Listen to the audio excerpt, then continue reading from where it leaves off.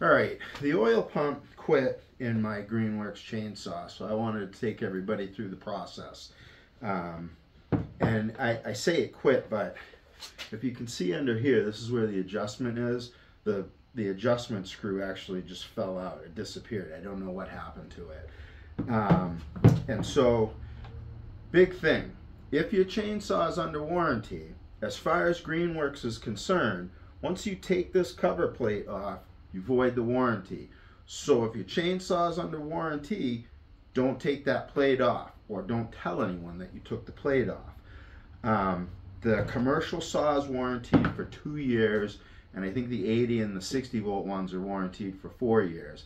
And all the 20 inch saws, as far as I know, they're exactly the same inside. They just have a slightly different motor.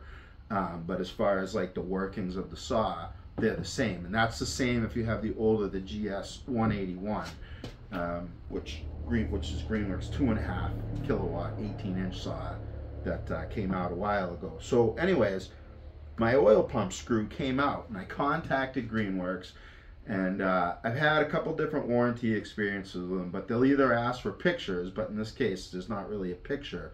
So they asked me to bring it to a dealer.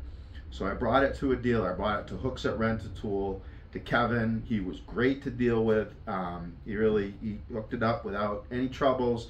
But basically, he concurred that you know that part which is not sold by Greenworks. Like they're they sell the tensioner, they sell these wheels. Um, they, they sell you know bar and chain but as far as like inside the saw you can't get parts, which is a real failing as far as I'm concerned uh, with Greenworks. But they said, okay, the oil pump screw is missing, it's broken, we're going to warranty the saw.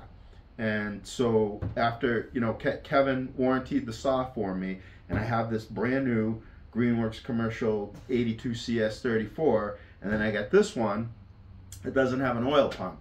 But what I actually wound up doing was, because these saws are the same, I took the oil pump out of my GS 181 and I put it in here because I'd rather have a you know a four and a half horsepower saw than a three and a third horsepower saw.